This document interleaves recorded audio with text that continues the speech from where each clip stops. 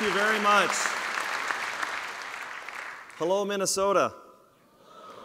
How are we all doing? You're mine for the next 30 minutes. This is going to be fun. You know, I'm going to start off with a negative note. I usually try and uh, crack a joke, but not tonight. Um, you know, when I'm out on the sea ice, sitting there alone for many months a year is what I do for my job, alone in camps, on the ice, or up in the Arctic tundra. So, the longest I've been is three months without seeing another person or having access to anybody, uh, even a radio. You see things changing in front of your eyes, and I have to be honest, you feel alone and you feel helpless. And it's coming back from the field. I just came back from Antarctica on a big shoot. And you just, you're looking for that little boost of energy from a crowd or from somebody. And today I got that. I was so excited to come here to the University of Minnesota with the environment program and spend the whole day with the teachers, with the students, learning about how they're trying to communicate through photography, through storytelling, through multimedia, and then to see Jonathan Foley's introduction in the Momentum magazine. I was like, wow, you know, I'm, I'm amongst people who are all headed in the right direction. So thank you very much for, for having a chance to speak to a group of people tonight who are already in, heading in the right direction. I'm not going to spend the whole evening just trying to convince you that climate change is real. We know that. The data's in. So, the images and stories that I'm going to share with you over the next 30 minutes um, are from my assignment work with National Geographic over the last 12 years.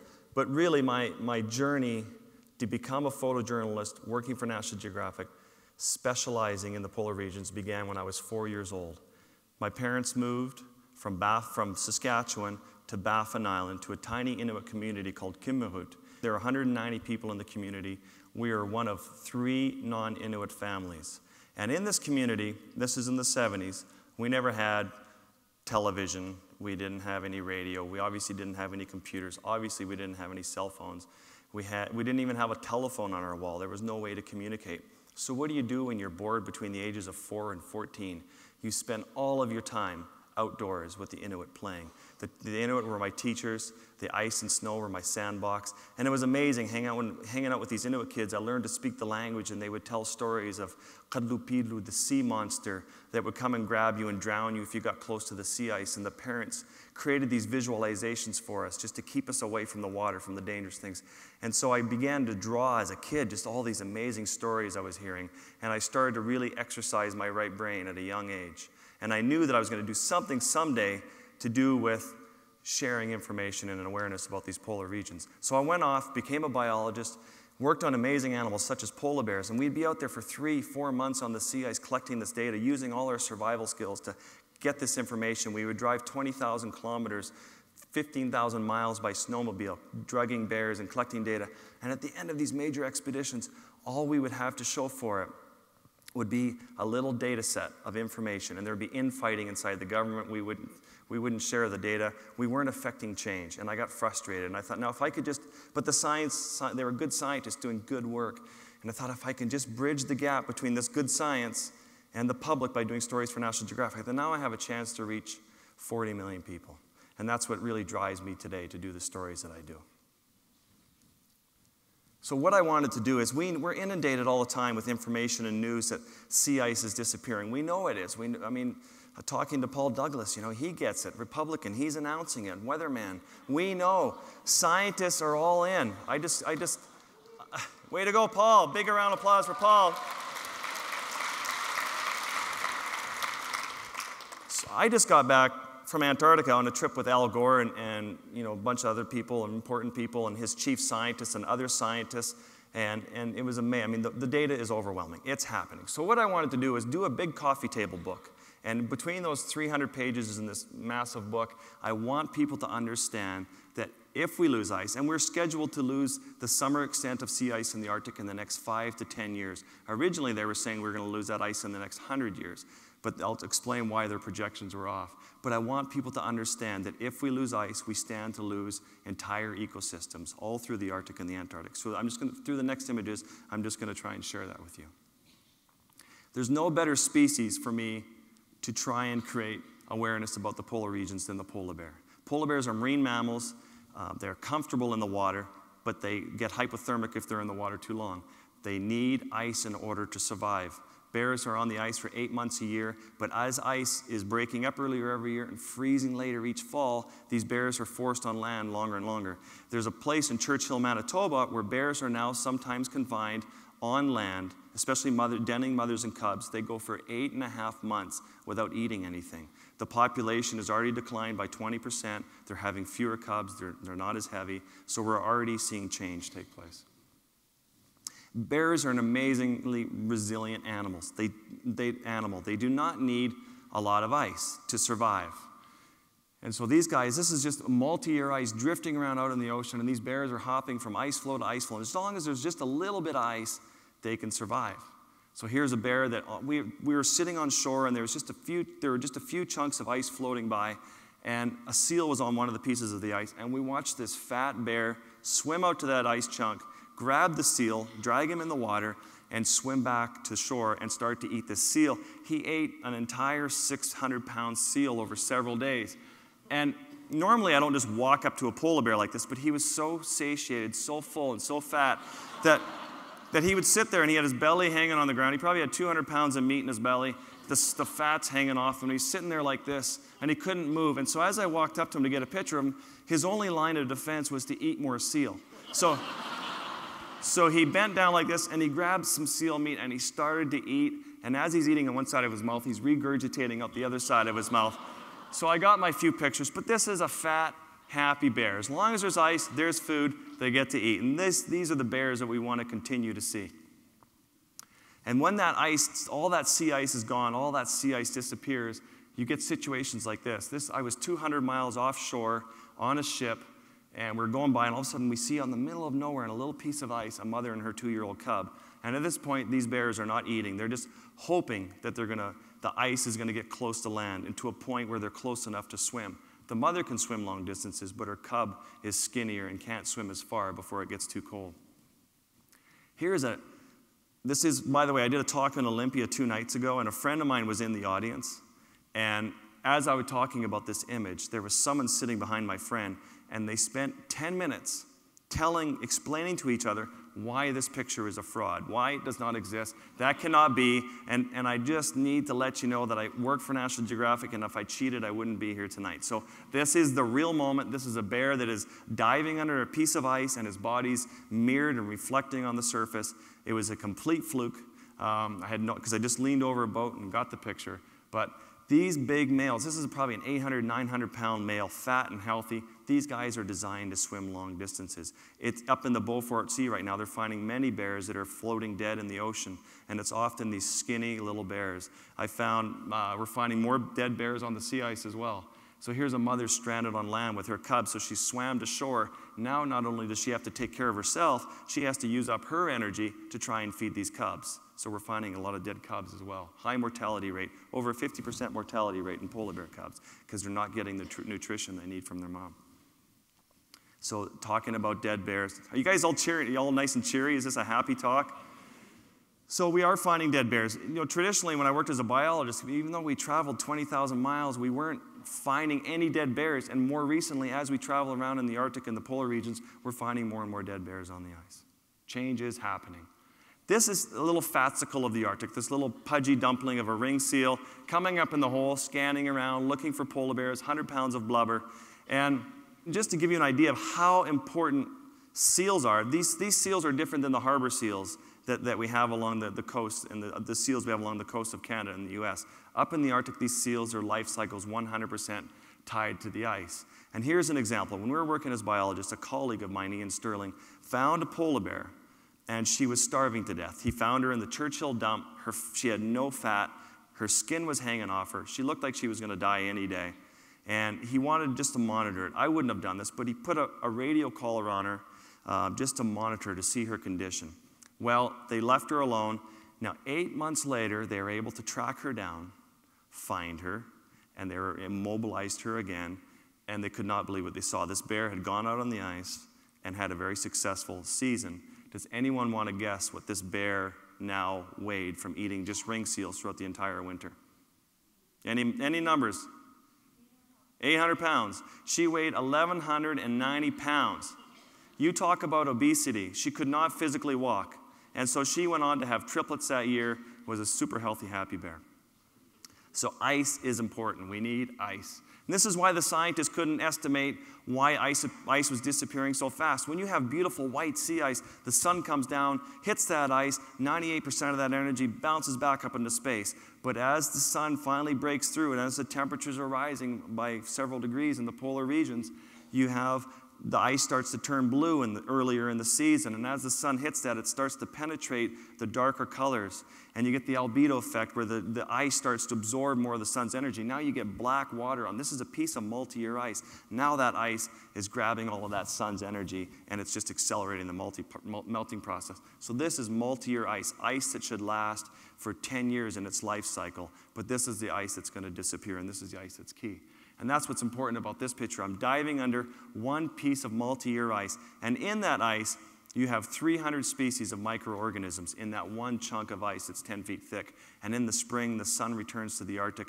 You get the phytoplankton that, glows, that grows on the underside of that ice. Then you get copepods feeding on that. Then you get the amphipods feeding. And then you get the Arctic cod. And then you get the seals. And then you get the polar bears and the bowhead whales and the narwhals and the belugas. All of that is, depends on that ice. Ice in the Arctic and Antarctica is very much like the soil in a garden. This is me in my office. This is what I do. Next time you're feeling sorry for yourself sitting at your desk, just think of this. I haven't had Botox. These are my lips. They're so swollen. They're just so puffy because I've been under the ice for one hour photographing, just shrimp and little things that fascinated me. And I've come up from that hour dive. And when I'm diving under the ice, after about a half an hour of diving, when I, first of all, when I descend, I get this, you get the cold water on your head. You've ever had a milkshake or an ice drink and you drink it too fast and you get that ice headache? Well, I get that over my entire head, and often the result for my body is the vomit. It just that's the reaction to that cold, to that cold water, to 28 degree Fahrenheit water. And it's a bad place to be vomiting, diving under the ice in your regulator alone. So you have to be careful of that. You have to be aware that it's coming. But I've come up from an hour under the ice. I'm cold, I'm hypothermic. I can't move my arms. I can't feel my legs. I already have had cramping. I've already had shivering, and the shivering has stopped, which means I know I'm entering hyperthermia, which means for me it's time to get out of the water. And so I have my camera, and I, all I can do is I can't, I'm too cold to take my regulator out of my mouth. So I point my camera up, and I do this with it, and I'm going woo, woo, woo in my regulator, telling my assistant, take my camera. And he thinks I'm saying, take my picture. So here we stand. Here we sit in this standoff for way too long before he finally got it and he dragged me out of the water.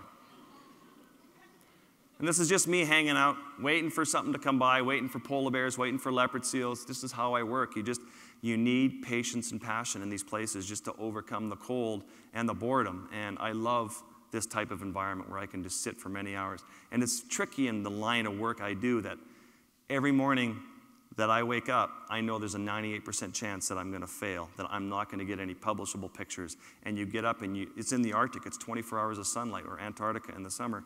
And so you sit there and you, for 24 hours or 20 hour days, you're working, waiting, hoping. And this goes on for many months before you get the 12 images that Ge- National Geographic can publish. And the, the diving is not the cold part, it's the luxury accommodation that we have to come back to at the end of the day. Here we have probably an 80 mile an hour blizzard, two huskies in camp, just in case polar bears come by, and they just give us a bit of a warning. You know, our tent, we keep no heat in our camps, because if we had heat, we'd never want to go outside and work. So we just keep everything cold. You get your heat by crawling into your sleeping bag. But this, it's worth it for me to go through what I go through to get these pictures. I'm going to show you uh, many pictures tonight of charismatic megafauna. But this is the most important picture I've ever made in my eyes, is billions of these amphipods and copepods living underneath the sea ice. And here's an endangered bowhead whale, 60 feet long, from here all the way from me to over those chairs, past those chairs, 100 ton whale. And this whale, new science has come, out, has come out saying that these whales could be well over 250 years old. They're finding, in, in, where they're still hunting them in Alaska, they're finding harpoon heads that they can date, that they're getting in the whales that they're catching now, that they can date to over 150 years ago. So, this whale right here, this very whale, this bowhead, could have been born before the Industrial Revolution. And it's pretty humbling to think that because of the lies that we're leading in the South, animals like this are probably not going to be around for another 100 years. Walrus also need ice. This is just a picture of a little video of myself and a walrus. And I just, this is just a moment of action.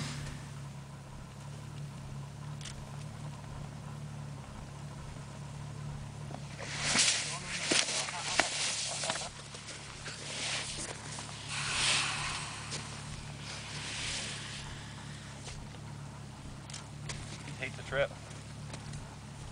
I'm not sure why I adjusted my fleece vest. I don't, but you see how the ice is moving? I had my assistant with a Zodiac who was spinning the ice for me to get the light better and to get a better background. And normally we wouldn't push a walrus like that and have him come after me. I, I will, I'll spend 10 hours with a walrus like that on a piece of ice, keeping him really calm. But we were really in a rush to keep going and I wanted to grab some quick shots. But this is the picture I got from that encounter with that walrus. Thank you. But walrus need sea ice as well, and so they can dive down from the ice to the clam beds that are 100 feet below. When there's no ice, these walrus have to travel vast distances to get to land to rest, using up a lot of energy. Then they have to swim all the way back out to, to uh, keep feeding on clams. See, we're starting to see how the whole icy ecosystem is connected. So here's one diving off a piece of multi-year ice. And we're just working on a story right now with National Geographic of walrus uh, feeding on clams. And I can tell you that they're more dangerous than great white sharks. And it's been a very humbling story to be in bad visibility, 100 feet deep under the ice with walrus six inches away while they feed on clams. But hopefully that story will, will come out soon. Now, narwhals also, who knows what a narwhal is? Nice, educated group. You're much better than LA and New York. That's good. So I, same thing, I was on a story, doing a story on narwhals, and it was tying it into climate change again, but as soon as I started the story, I realized that I had to shoot a different story. The Inuit taught me everything. They were my friends. I've been up on the ice with them for 10 years. The Inuit are shooting whales by the hundreds. They have a quota, but science has come out where it's showing that they sink five whales for each one that they land. The population is declining. And they also use a hunting practice where where they just shoot randomly, hoping to get a whale. Uh, that's how kids learn how, how to hunt. Inuit learn by doing. So they don't know they're doing anything wrong, but they're shooting huge numbers of whales, wounding a lot of whales. 80% of whales have been shot at least once and, and wounded, but it's all to get the tusk. And so I thought, I went back to Geographic and I said, I'm tormented. I, I can't do this expose on my friends. And Geographic's editor, Chris Johns, editor in chief, said, I'll give you a choice. You can do the story now and, and face your fears, or you can do it in 20 years from now when the, when the narwhal are all gone. It's up to you. So I went back up there, and not to expose the Inuit, but to force Department of Fisheries and Oceans to properly manage this species, which is under their mandate. And when you look at this whale, the one on the right with the big white scar, that's a bullet hole exit wound. And when you start to look closely at these whales, you start to see a lot of bullet hole exit wounds. So I would sit there at night with my, with my friends, with the hunters. I would count 150 shots throughout the night. And in the morning, there would be just four whales sitting on the ice. And I knew that many animals were, and I'd watched many animals get sunk and get lost. And this is the hunting practice that takes place. The whales swim into a crack, they swim by, and then they just open up. There's not a newer rifle there than a 1945 rifle from the Second World War. The government provides them with free bullets. The ones they're dressed in red because they're rangers. They're the, our first line of defense if the Russians ever come over to the Arctic. We have the Inuit with their 303 rifles to protect us. So they get th- free bullets to train. What's so funny? We have a good military in Canada. So this is, this is their hunting practice. So it's, you know, I didn't want to take a picture of anyone's face in this situation. I just, you know, wanted to show how it is done. It's not a good picture, but it ran in the magazine just to show how things are, things happen. And so it's all about this ivory tusk. And I'm proud to say that because of our story and because of political pressure, because of pressure the public's put on Department of Fisheries and Oceans, that it is now illegal to export ivory out of Canada. But what was happening before is ivory was being exported to Switzerland, where we were going to the black market ivory trade. And that's where all the ivory's going. People were just shooting these animals for the ivory. And they also eat the skin, which is delicious, but now it's so high in mercury that it's not safe to eat. So that's a species story. These are just examples of stories that I do. So this is a story on the Great Bear Rainforest of British Columbia. Canada wants to take its oil from the Canada tar sands, a nice clean product, bitumen, and they want to ship our oil over to British Columbia into tankers that are 10 times larger than the Exxon Valdez. They want to run the tankers through these inlets. And so the First Nations came to me and said, We must do something about this issue.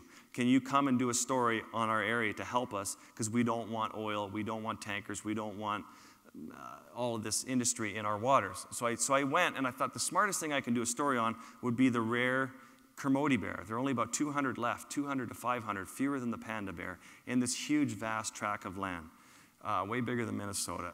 You know, great idea, great proposal. Geographic jumped on it, they accepted it, and then I sat there in the rain for the first month, seeing nothing and pouring rain. And I sat there for one month thinking about what am I going to do with my next career because there's no way Geographic will ever hire me again.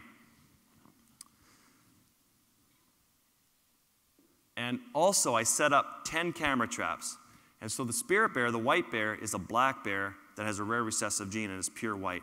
And I thought if I can use this beautiful animal to show that lives in this habitat and it's connected to the ocean, the rivers, and everything's tied together again, it's another ecosystem story, then I thought maybe one of my camera traps would come back with a great image.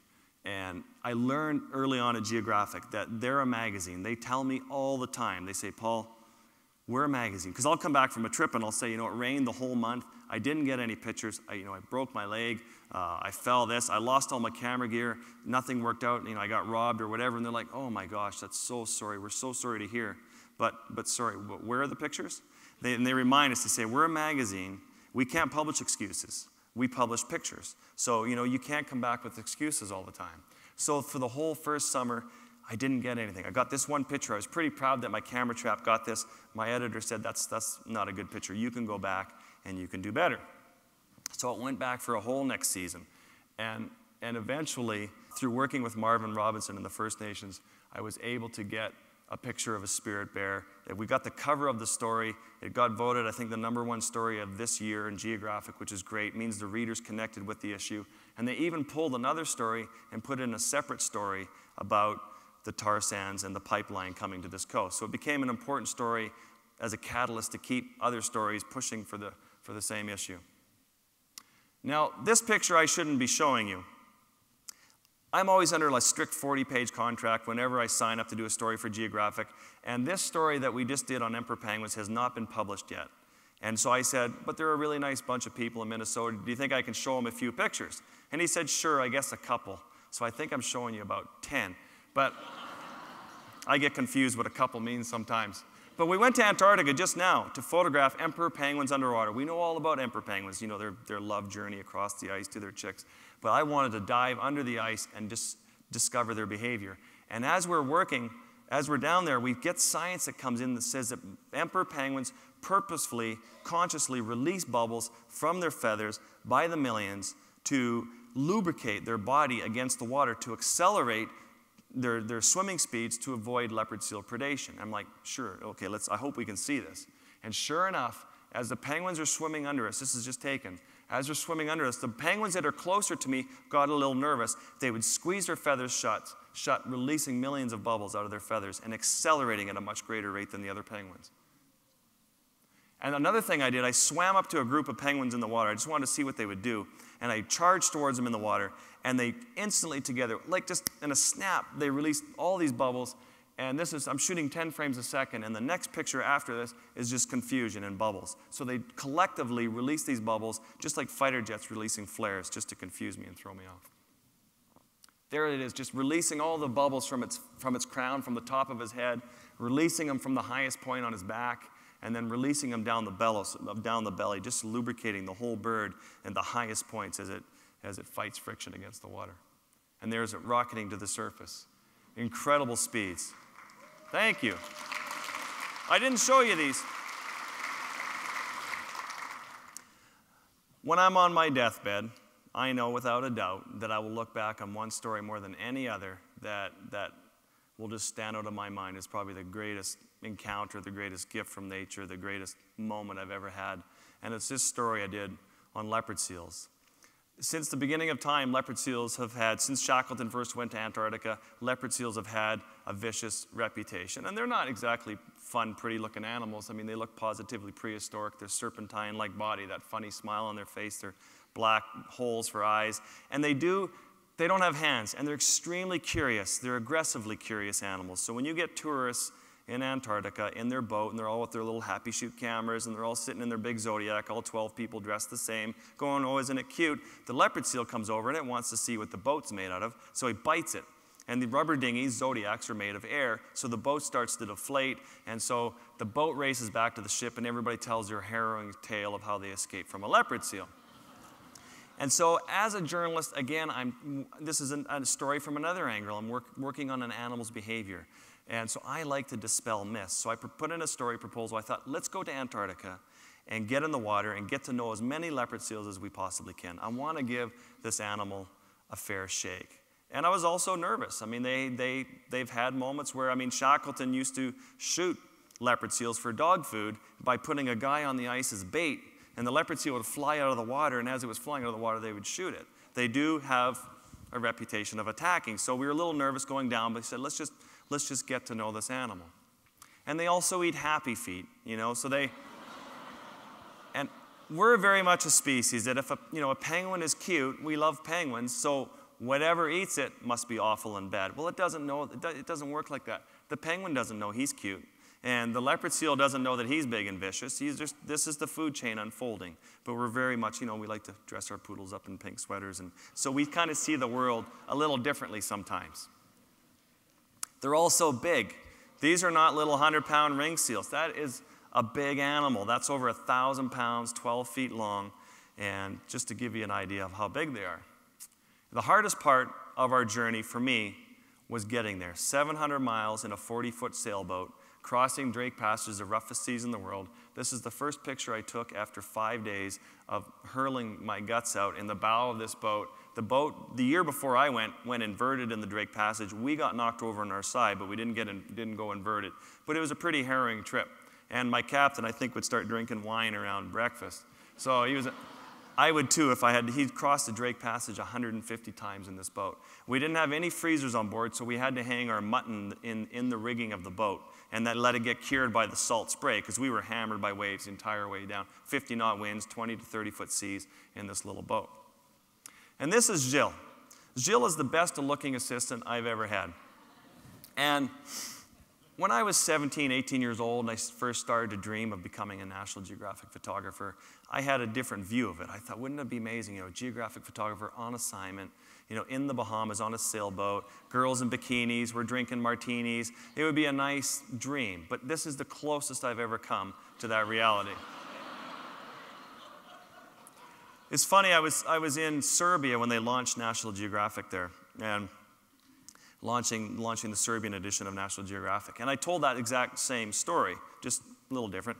And, and it was funny that later, no one really laughed when I said that. And later on that night, we're having a couple cocktails at a bar and, and celebrating. And everybody got up to leave. And this gentleman sitting across from me slipped me a piece of paper, had a phone number on it. It said, I like men too. Sometimes you just you got to watch what you say in foreign countries. So we finally arrive at the Antarctic Peninsula after a week at sea in this little boat, tired and sick. And Goran Ehlmé, a Swedish man who has experience with leopard seals, said to me, you know, let's just go out and look for a seal, just in case. And I'm all the way down, I'm like, we're not going to see any seals. You know, I'm, I don't want to fail this story. I get very neurotic on my assignments, thinking I'm going to fail all the time. And he said, let's just go look for a seal. So we come around our first bay, and there is this massive leopard seal. To give you an idea, that penguin is over two feet tall when it's standing. So this is a massive head of a seal. And Joran, in his deep Swedish accent, goes, That's a bloody big seal, yeah. So he got, he was really excited. And so the seal grabbed the penguin came up underneath our 12 foot long Zodiac and started ramming it under the hull of the boat. And so we had to stabilize ourselves and sit down on the boat as it's lifting it. And then the, the seal goes away from the boat about, oh, uh, 10 feet and starts to do this. He just starts to rip the penguin inside out. And this is what they do they grab it by the head here and he flicks it as hard as he can. You can't see it with the human eye, it just looks like a splash, but on you know, one four thousandths of a second on your camera, you're able to freeze that. And so he just whips it so fast, he turns the penguin inside out, and you're left with all this all this meat, and that's what he eats. And now there's blood, and there's chunks, and there's fat, and it's all the stuff in the water, and I'm thinking, wow, this is scary. And Goran looks at me and he says, Time for you to get in the water, yeah? And I said, forget that. You know, and then we ended up having a really heated argument. He started calling me names, called me weak, a chicken. Don't I have, you know, am I not brave enough? I complain about this story. I pitched it. I'm worried about failing. You know, his job is to find me a leopard seal as the guide. It's my job to get these pictures. He's like, just shut up and get in the water, yeah? So I sat there on the edge of the boat. Just you can imagine how scared I was, just trembling. I had dry, dry mouth, and I barely parted my lips with my snorkel. And I put on one. It's going as slow as I can. He's like, "Hurry up!" I'm putting on my flippers, and he said, "The seal's going to go away. Hurry up!" Put my flippers on. You know, my, he closed up my dry suit and slipped over the edge of the boat, not knowing what to expect. And this is the first thing that happens. So, but Göran had said to me, he said, the leopard seals are known to do that. They will, and her head's this big. Her teeth are up here and down here. If you put your elbows together and open up your arms, that's how big the head is. It's this wide. And he said, you know, he gave me really good advice. So he said, it's going to do this to you. I think it will, if it's a normal, good leopard seal. It's going to do a big threat display. And he said, when it does, this is your advice. If you get scared, you close your eyes and she'll go away.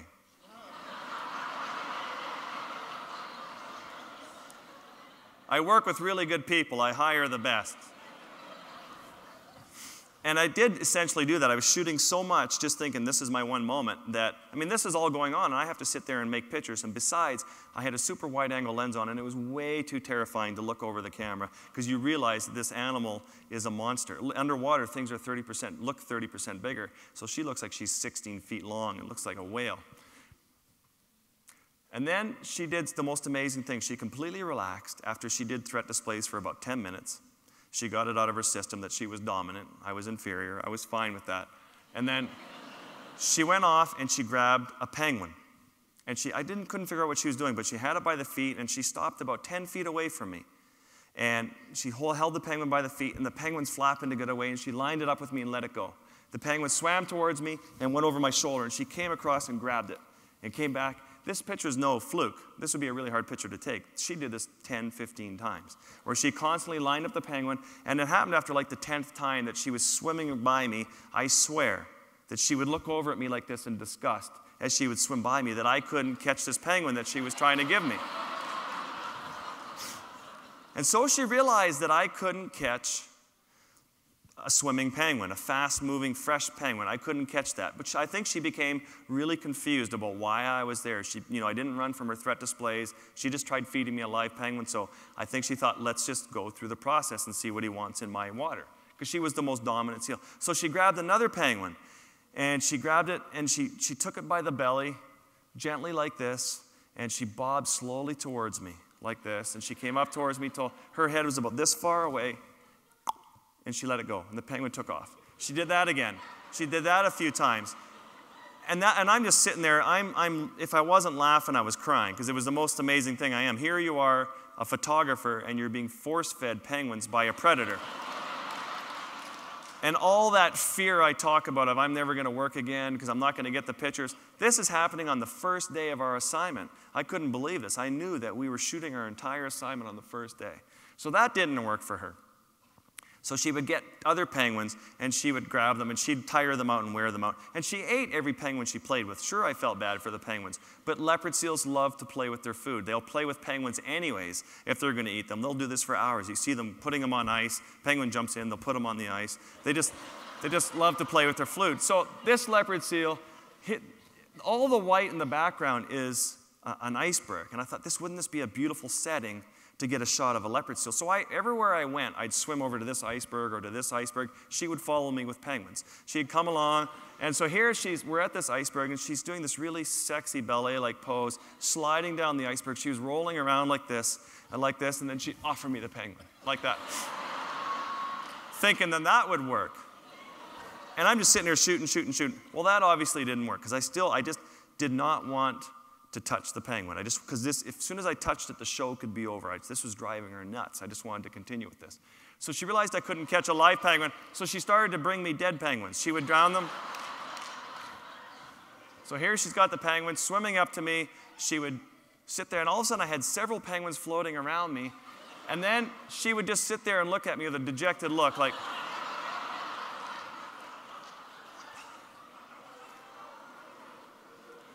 You don't want to be too anthropomorphic. You don't want to anthropomorphize. You don't want to put human behaviors on animals. But I swear she was thinking, you idiot. You know, here I'm offering you a penguin.